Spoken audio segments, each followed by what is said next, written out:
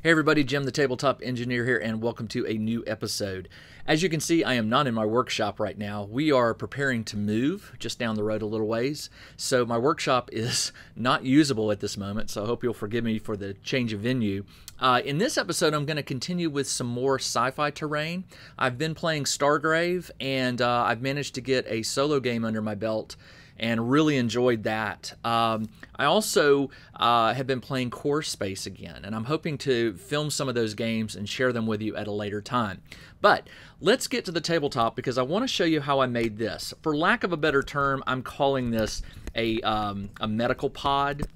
Uh, you can call it whatever you want. It could be a prison, but it's a small clear container. As you can see, I've got a little robot in there. And um, this can be made uh, with, this is a plastic bottle.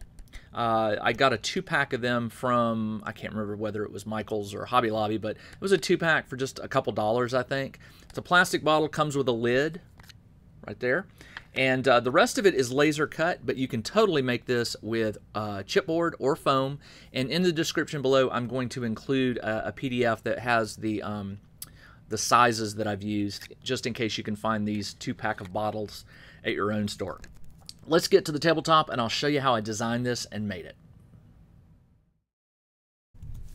I began this project by going into Inkscape and drawing the shapes that I would need to create this, uh, this storage pod or medical pod. You can do this in foam or chipboard. I just wanted it done in wood, so I would use my laser cutter. But if you don't have a laser cutter, again, you can do this in foam or chipboard, and I'm going to make a copy available of my shapes um, as a download in the description below. So definitely check down there. You can uh, you can get the dimensions and things I used. The reason I used the laser cutter is as you can see here, I was able to add details. Now I painted the wood silver before I put it in the laser cutter and I cover it with this protective tape that prevents burning. So you won't see the silver uh, in the in a video just in a, in a moment you'll see the, the laser doing the cutting. You won't see the silver, it's underneath the tape. But what the tape does is it cuts away uh, with the laser and leaves this detail behind. So there'll be these lines that I'm drawing here in Inkscape. These will actually be visible as like engravings or etchings on the surface of the pieces. Now I created three bases that when stacked uh, these are all about one quarter inch thick wood. So when they're stacked up, they will cover the um, screw on top of the uh, of the bottle and hide it uh, leaving only the clear part of the bottle visible. Now what I'm doing here is just adding some details. I use the align tools a lot to add uh, squares and funny shapes and you center everything and then you to keep from redoing your work you can make copies and then rotate it and, and at 45 degree increments and things like that. So really what you're seeing me here do is create one instance of something and then I make a copy and I rotate it uh, around the circle just to give it that extra bit of detail. Now, only the top piece that I'm working on right here will have the detail. The two below it, they really don't have anything, so I didn't spend any time uh, giving them any detail. But I also added detail to the top that will be glued onto the top of the glass bottle. Now remember, the, the plastic bottle, excuse me, is going to be upside down with the top pointed down so I needed to cover uh, cover the top of it, and I created another piece that has uh, some additional um, detail work uh, on it. Now, in just a moment, you're going to see my laser cutter at work. It looks like it's cutting fast, but I've sped up the video to four times the speed. Uh, the entire thing took about four minutes.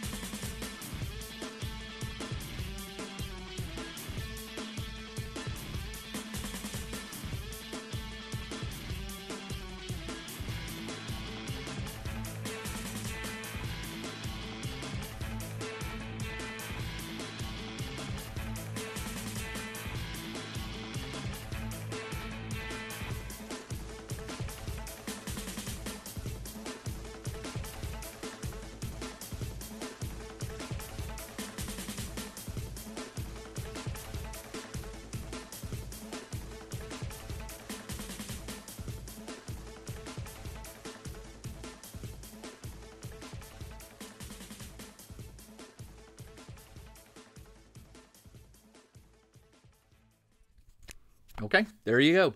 It breaks down into two pieces. As you can see, this is the base. It's three levels. Uh, this is quarter inch wood, so it took three stacks to cover this blue bottle cap. Well, it was white. I painted it. Um, I added these detail pieces around here and on the top, just a little extra. You don't have to do that. Now, if you don't have a laser cutter, again, you could totally make this out of chipboard or foam. Uh, it's just where I laser etched the details okay? You would have to use like chipboard or some sort of you know thin paper or plastic cut it out and, and make those shapes so you get that 3d looking effect. The bottle uh, is plastic. It was a two pack uh, at either michael's or hobby lobby. I honestly can't remember. Um, i glued a metal cap in the bottom here uh, I have the figure attached with a piece of tape because this has not got a magnet on it. But if you had a magnet on a Mini, it would just attach to the to the cap here, and then you would just screw it in to hold it in place.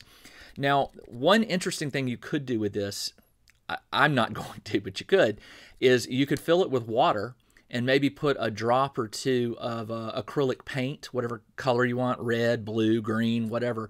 Shake it up, get it mixed real good and uh, you would have some sort of aquatic tank that holds you know some creature. Now keep in mind that might stain a mini that you put in there. I, I can't tell you yes or no whether that would happen but uh, if it was going to be a permanent type thing who cares? Uh, you would probably just want to use hot glue around the threads of the bottle here so that when you turn it and, and screw it on it, it gets a good seal all the way around and won't leak. But um, but there you go. One nice little sci fi uh, display. Um, I'm calling it a stasis chamber right now. Uh, got a little robot in there, but um, totally, totally doable by you with uh, chipboard, foam, whatever you have on hand. All right, that's all I have for this week. I would like to uh, invite you to come join us over at the Tabletop Crafters Guild Facebook group. I'm one of the guild masters there, and it's a 35,000 plus strong group of crafters and gamers who make crafts for their games. Maybe we game because we like to craft. I don't know. It's people who share photos, ask questions, uh, look for inspiration uh, for things that they want to make to enhance their tabletop game.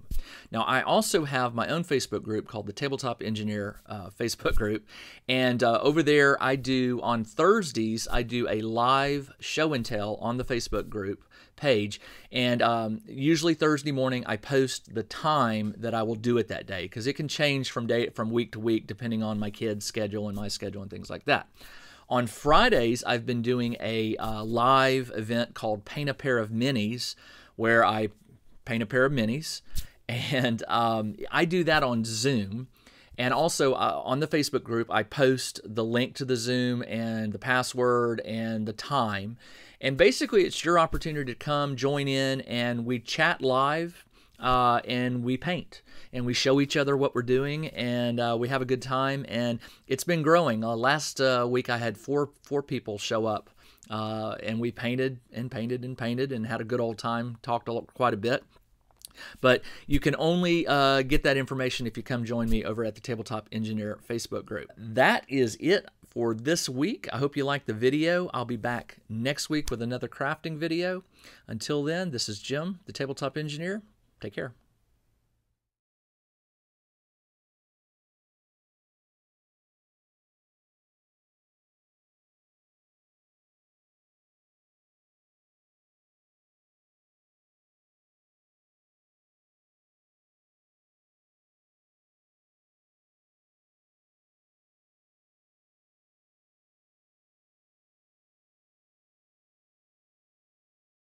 Each month, Bexim's Bazaar RPG and Wargaming magazine provides gamers with articles, props to print and cut out for players, mini adventures, new monsters, and much more.